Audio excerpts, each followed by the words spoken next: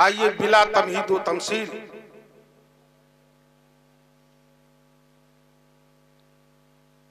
पूरी कायनात के मरकज अकीदत। ताजदार अरबो आज़म। बनीय आदम। फखरे आदम।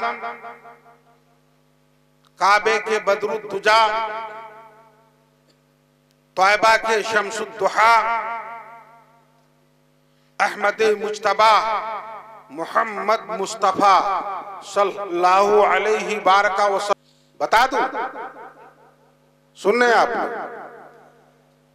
मेरे आका सल्लल्लाहु अलैहि बारका वसल्लम हदीस में इरशाद फरमाते हैं,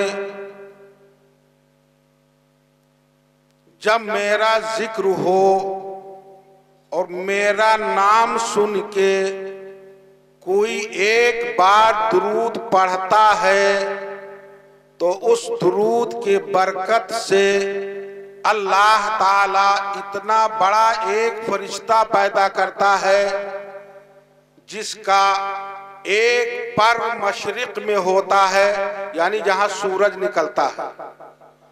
और एक पर उसका मगरिब में होता है, जहाँ सूरज डूबता है। वो फरिश्ता उस दुरूद को ले करके जा करके बहरे रहमत में गोता लगाता है, बुड्ढी मारता है, घुस जाता है और घुसने के बाद बाहर निकल के अपने परों को वो हिलाता है और हिलाने से जितने कतरे गिरते हैं पानी के अल्लाह हर कतरे के मवाजे में एक फरिश्ता पैदा करता है। एक फरिश्ता पैदा करता है। अब आप अंदाज़ा लगाओ कि एक फरिश्ते का पर इतना बड़ा है कि जहाँ सूरज निकलता है वहाँ, और इतना बड़ा है कि जहाँ सूरज गुरूब होता है वहाँ। उसके बाद वो रहमत के समंदर में गोता लगाता है और लगाने के बाद अपने पर को हिलाता है। अब बताओ कितने कतरे गिरते होंगे और हर कतरा से एक फिरिश्ता पैदा होता है और वो फिरिश्ता सुबह कयामत तक वो द्रूद पढ़ने वाले के लिए दुआएँ मगफिरत करता रहता है। दुआएँ मगफिरत करता रहता है उसके लिए दुआ करता रहता है। इस दुरूद पढ़ने वाले की मगफिरत फरमा दे अल्लाह, इसके ऊपर नारे जहन्नम को हराम फरमा दे अल्लाह, इसके ऊपर जहन्नम की आग को हराम कर दे अल्लाह, इसके ऊपर जहन्नम के दरवाजे को बंद कर दे अल्लाह, इसको जन्नत अता फरमा दे अल्लाह, इसके आल इसके आल औलाद को हरा भरा कर दे अल्लाह, इसके खानदान को उजागर कर दे अल्लाह, इसको अपना कुर्ब अता कर दे इस तरीके से फरिश्ते उसके लिए दुआ करते रहते ये दुरूद की बरकत है। एक रिवायत सिर्फ़। अब आप लोग बताएँ कि दुरूद पढ़ोगे या हल्ला मचाओगे?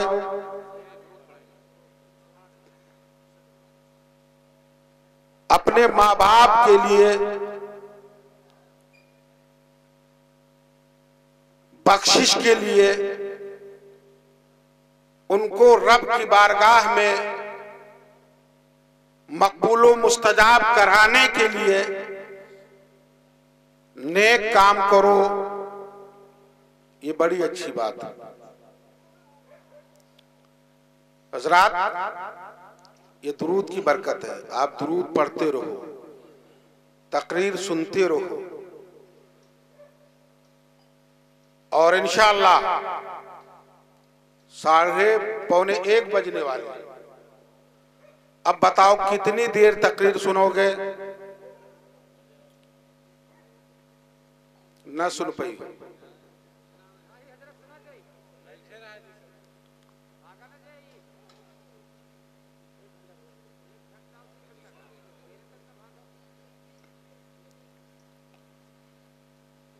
आप लोगों ने वादा किया है कि मैं भरपूर तकरीर सुनूँगा। और मेरे पास मशीन है। कि आप लोग सुनेंगे कि उठ के चले जाएँगे, उसकी जाँच हो जाएगी। और मैं ऐसा कलाम पढ़ने जा रहा हूँ, जो न मेरी आवाज़ मौलाना निजामुद्दीन की तरह है, न सनाउर रहमान की तरह है, न अनवर सोनपुरी की तरह है, बल्कि सबसे अलग थलग है। लेकिन कलाम सबसे अच्छा है। तेरी बात रसा तुझसे कुत्ते हज़ार जिंदाबाद। नारे तकबीर नारे रिसालत हज़रत अल्लामा बदरुद्दीन साहब किबला। जिंदाबाद जिंदाबाद। वही इमाम इश्क मोहब्बत का कलाम। सुभान अल्लाह तजमीन के तौर पर। समात फरमाए पूरे शेर नहीं पढ़ूँगा। बड़े अच्छे अच्छे शोरा तशरीफ़ फरमा। और मैं अपनी तरफ़ से नहीं पढ़ूँगा कि मैं शायर हूँ नहीं। कभी रदीफ की गलती हो जाए तो कभी काफिया की गलती हो जाए, मैं अपने को बचाऊँगा। और अल्हम्दुलिल्लाह, अगर कोशिश करूँ तो मैं भी शेर कह सकता हूँ। लेकिन ये बड़ा अहम पहलू होता है शायरी का भी।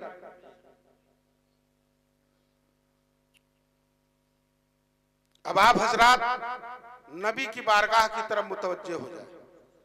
नबी के रोज़े का नक्शा देखा है अपने निगाहों से? देखा कि नहीं देखा? इस वक्त देख रहे क्यों नहीं देख रहे? अरे देख रहे हो। अपन घर देखो तो देख रहे हो। आँखें से नहीं देख रहे कि दिल की निगाह देख रहे? ऐसे ही रोज़े मुस्तफ़ा को अपने निगाहों में बसाओ और मैं मैं पढ़ने जा रहा हूँ। इसको समझो।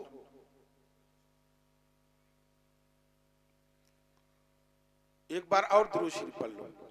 अल्लाह रब्बु मोहम्मदिन सल्लल्लाहु वसल्लम, नहनु इबादु मोहम्मदिन सल्लल्लाहु वसल्लम। वो रहमत मुजस्सम। हज़रत, आप ही मेरा साथ दे दें, बस इनसे नहीं मतलब। वो रहमत मुजस्सम, जब मुस्कुरा दिए।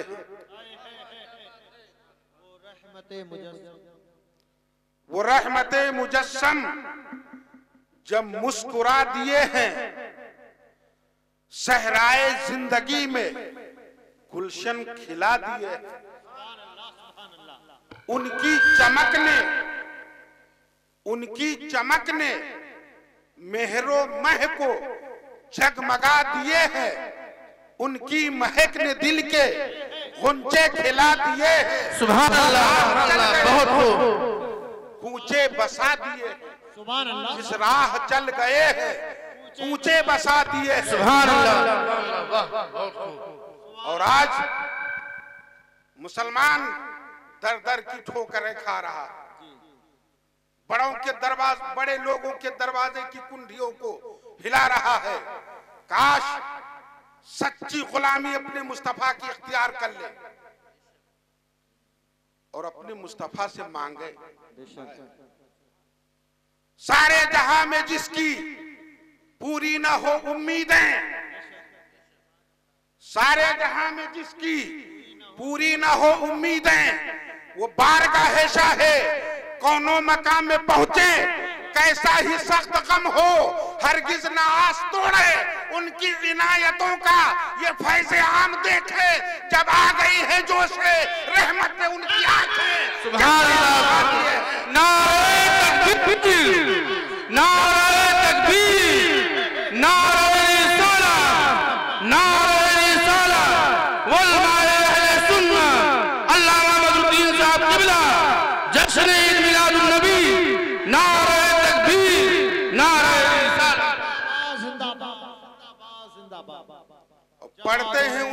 कलिमा। बेजान संग्रह से। पढ़ते हैं उन्हीं का कलिमा। बेजान संग्रह से। तस्लीम को अदब से। झुकते हैं पेड़ पौधे। क्या समझे फर्श वाले शाहे अरब के रुतबे। देखो फलक पे उनकी जाहो हशम के जलबे असरा में गुजरे हैं जिस बेड़े पे कुदसियों के होने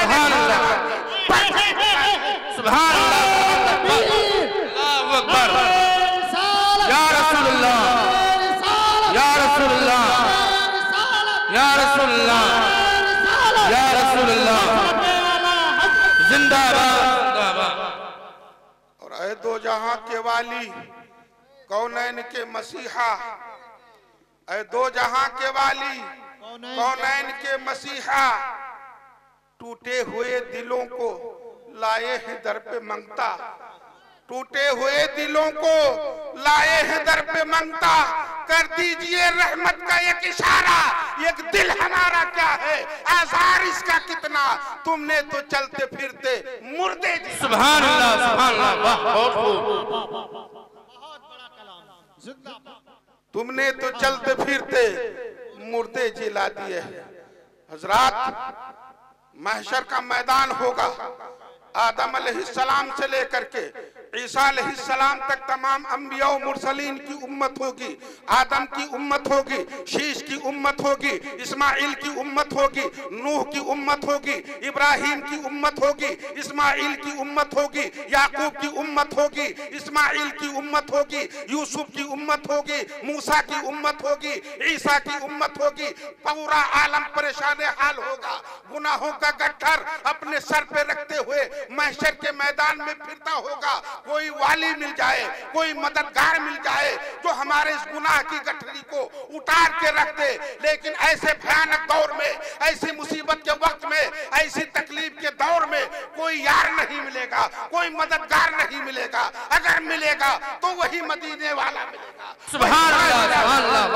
वाह सब गुंबद में आराम फरमाने वाले मुस्तफ़ा मिलेंगे। इसी को किसी ने कहा है, महशर में जब भी आया इशिया शियार बंदा महशर में जब की आया इशिया बंदा था मुस्तरिब की देखो, अंजाम क्या हो मेरा?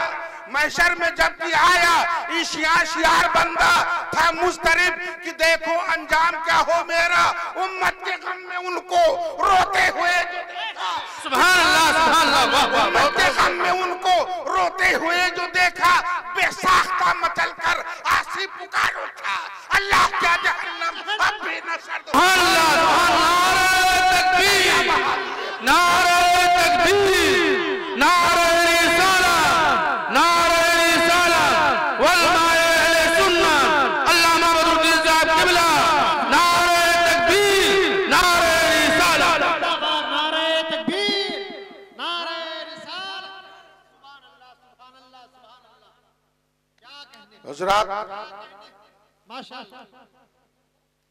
ये इमाम इसको मोहब्बत का कलाम है। ये मेरे इमाम का कलाम है। इसी इश्क रिसालत के बुनियाद पर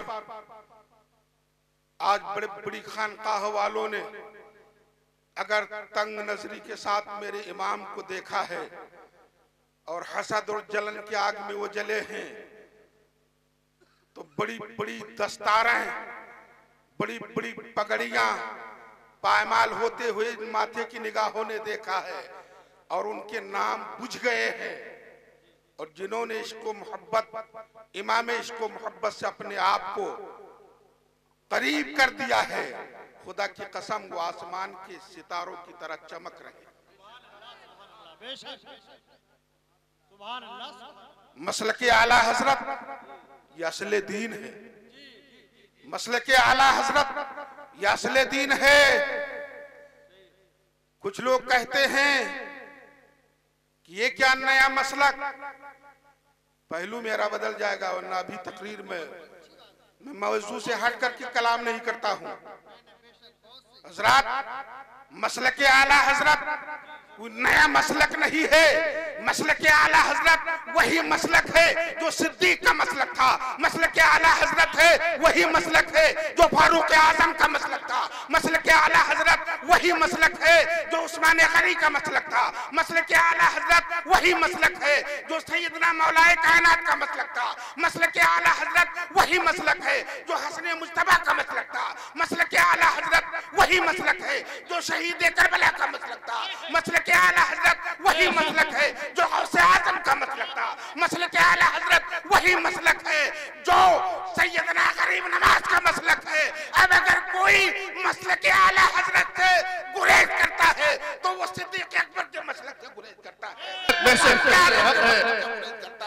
वो गौसे आज़म के मसलक से गुरेज करता है। वो गरीब नवाज़ के मसलक से गुरेज करता है। मसल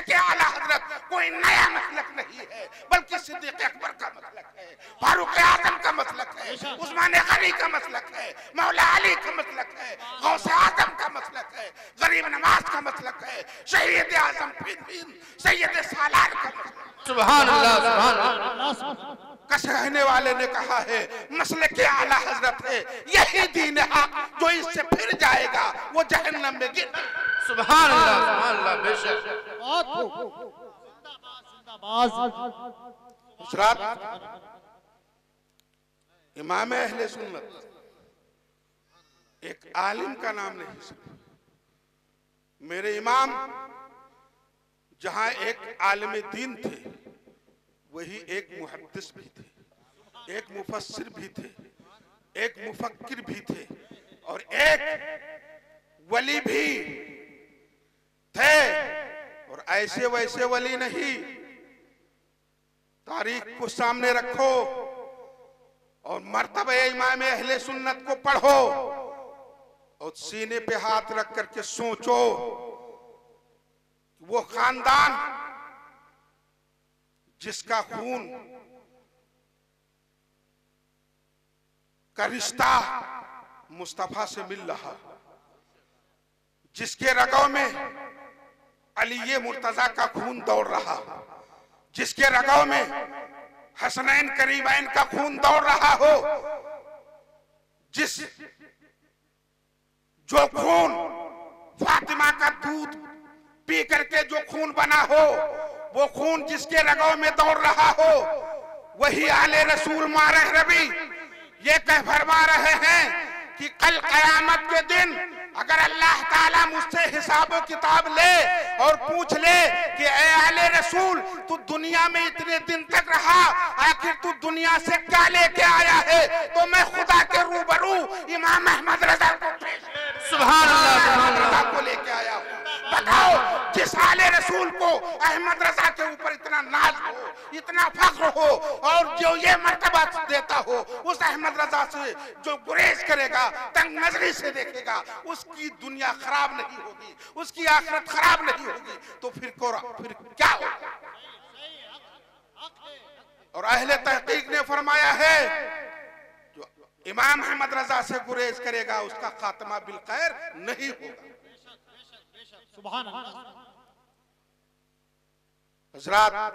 वो इमाम अहले सुन्नत। और जो मैंने आयत करीमा तिलावत करने का शरफ हासिल किया, इन अलिया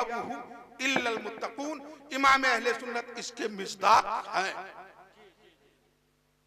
इसका माना यह है कि अल्लाह के वली परहेजगार ही हुआ करते हैं।